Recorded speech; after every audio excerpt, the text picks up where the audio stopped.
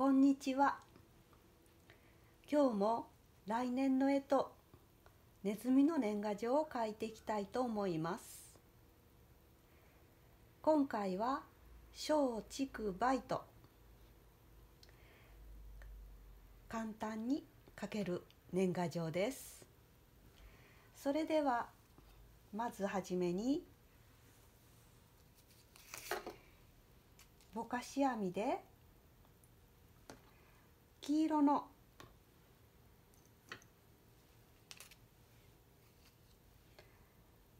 枠を書いています。それでは最初は中央のネズミから書いていきます。今回のネズミは少し大きいネズミです。いつもよく描くように横向きのネズミですね。少し足も出して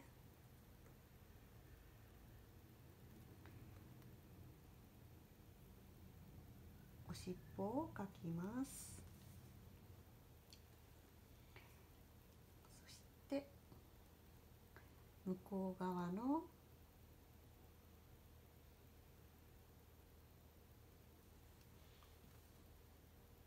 耳も描きます。はい。次に梅の木を描きますね。まずは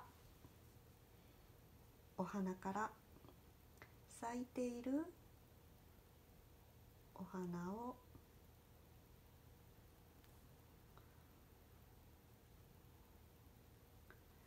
2つ描きます。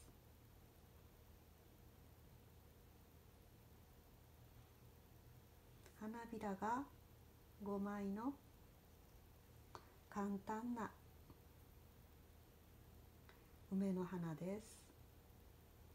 これは横向きのお花です。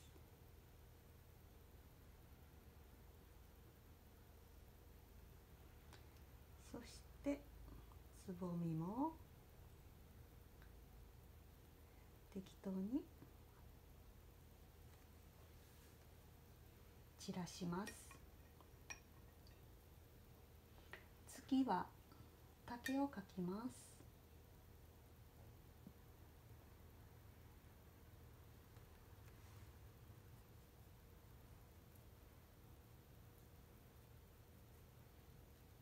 けは。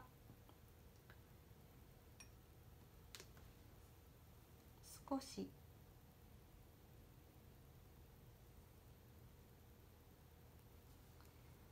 黄緑色で。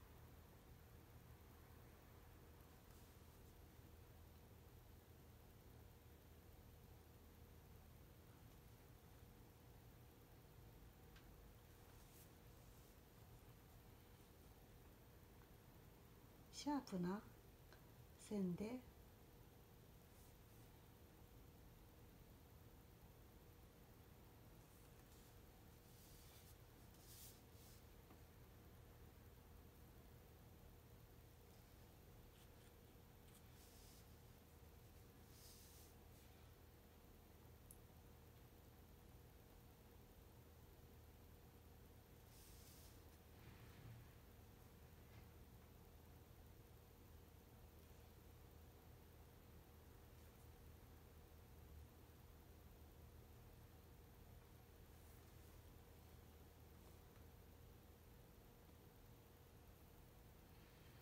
けの葉っぱは真ん中から描いていく方が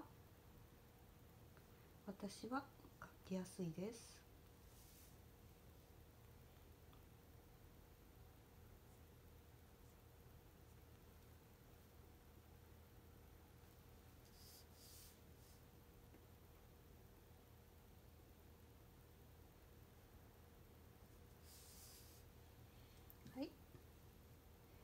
次に松なんですが松は濃いめの緑を使いたいと思います。松も簡単に丸を3つ書いて少し下は揃えたいと思います。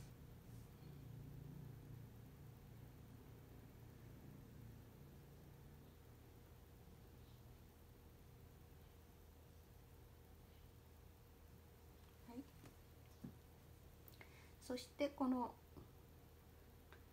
横向きの額の部分だけ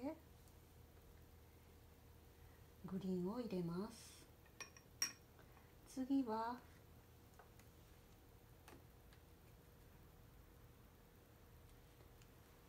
梅の木です。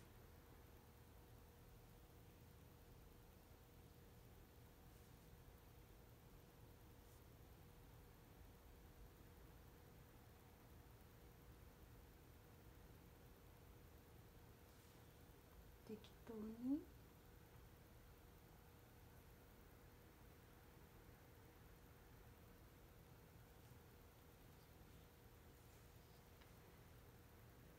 つなぎ合わせて同じ茶色で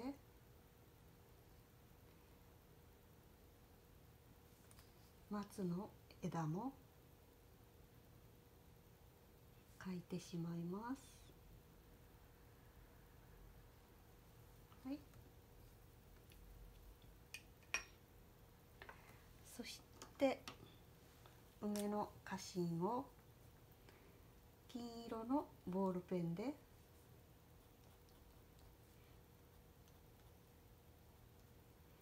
いていきます。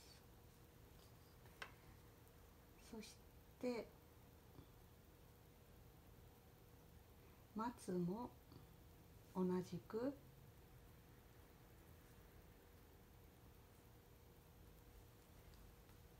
金色のボールペンで描きました。梅の花粉を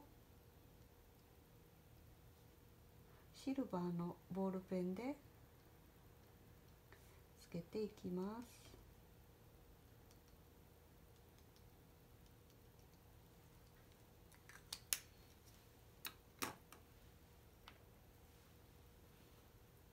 ここでネズミの耳をピンク色に塗ります。そしてネズミの鼻と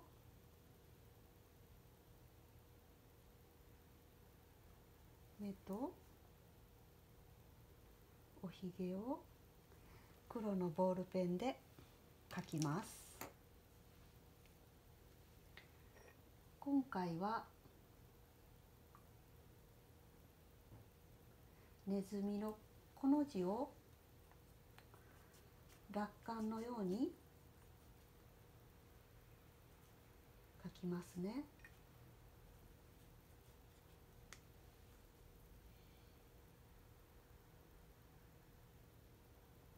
墨の方に小さく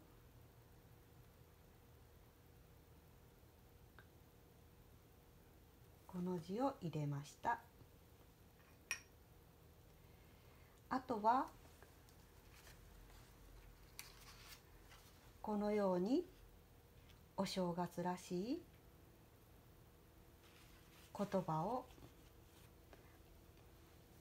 書いて年賀状の出来上がりです。皆さんもお試しくださいね。